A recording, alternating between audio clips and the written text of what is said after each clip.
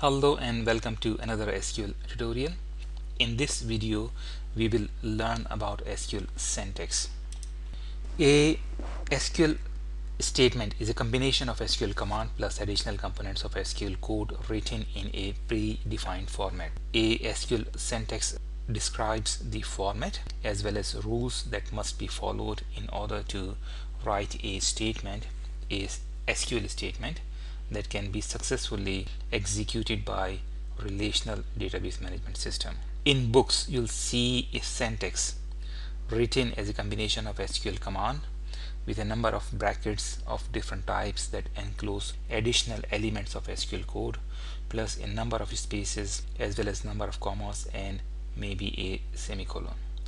All these have certain meanings and are important for you to know to become an expert this was the statement SQL statement that we used to create our first table. Try to omit one comma or one bracket or try to put an extra comma or an extra bracket and your relational database management system. Will not create the object called phone. Will not create the table called phone. A syntax to create a table might look like this something like this in your books. How many components of this syntax are supported by your relational database management system is a different story. So let's try to understand all these. First of all notice that keywords are written in capitals in uppercase and these keywords are used to generate a SQL statement. These square brackets enclose optional components. Anything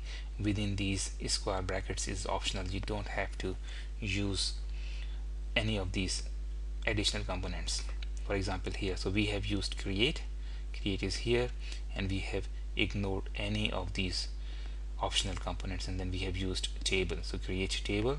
And then these angle brackets are used to represent a placeholder. A placeholder that would be replaced by an identifier. So in this case we have replaced this part of the syntax by an object name by a table name called phone. Now these curly brackets simply group elements together. Now the vertical bar, this vertical bar represents or, the word or. So if you do decide to use these optional components, you can either use global or local, one of these two in this case. Now after that, you have a bracket, an open bracket, and then you have a column name. And there's a space and after that space you have data type and then another bracket open that encloses length of the data type. Notice there is no space in here.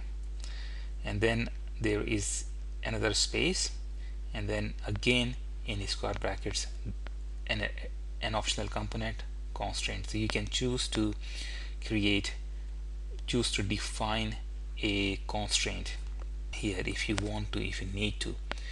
And then there's a comma. It means that the definition of a column is complete. You have described the name of a column data type of a of the column of this column and the length of the data type. And then optionally you have a constraint that you can choose not to use or not to apply. Comma is a separator it means that you want to define another column. So you have created another column here same format space data type and a length. And then if you want to you can choose to create choose to apply another constraint another comma and three dots means that you can follow the same pattern as many times as you want. So you may create a number of columns after comma as many columns as you want and then we're closing this bracket that we opened here and this semicolon is a terminator.